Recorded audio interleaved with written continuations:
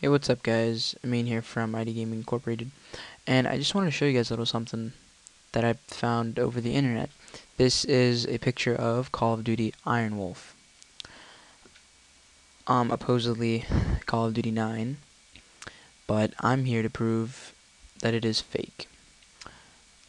Um, well, supposedly, uh, Activision and Treyarch are going to be coming out with a new game.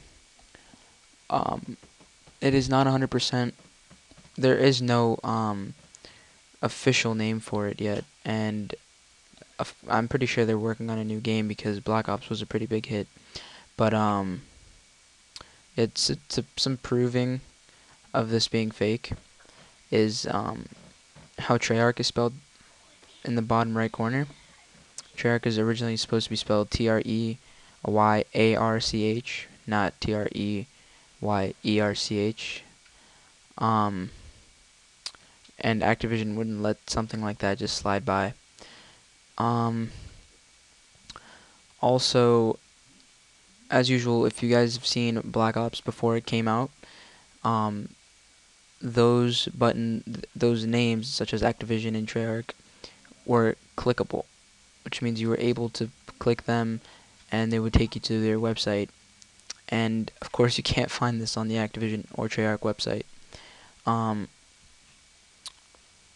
and yeah, there's no actual um, no actual link or approval of this. Um, so doing some analysis of this, Call of Duty symbol or Call of Duty logo seems to be correct and Iron Wolf seems. I mean, it, it looks pretty legit. I mean, it could be a next game. It looks pretty cool.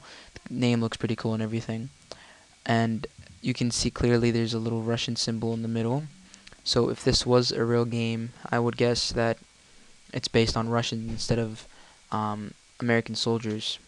Guess I'm, I'm guessing it would be based on um, Russian side of view, since most of the games are about Russians. Um, for some reason they hate Russians. Anyways, um, let's see what else. Um, the wolf picture in the background.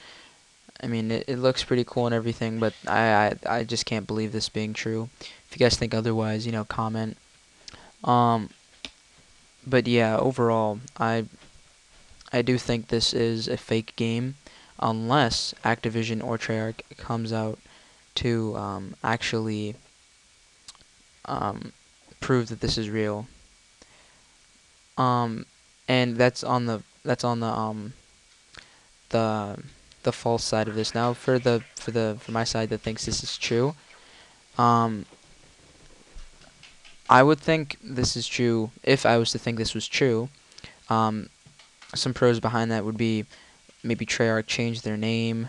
Um, maybe Activision and Treyarch don't want their um, this game fully leaked yet, so they're not linking their pages. Um, not a lot of information on that. Blah blah blah. And um, so yeah. And um, yeah, that's pretty much it for this video. Thanks for watching. Make sure to check out future videos on ID Gaming Incorporated. And um, I'm going to be pretty much showing more videos like this, um, spoofs. Well, this isn't really a spoof. This is a leak or a false leak. But if there's more information, any more information on the next Call of Duty, I'll be sure to post that up. Future game reviews, future game information will be posted on this uh, channel. Make sure to check out our website, idgamingincorporated.webs.com. Um, register, check out the forums daily. Um, make sure to subscribe for future videos, like, comment, and subscribe. Thanks for watching. This is me from ID Game Incorporated signing out. Peace out, peeps.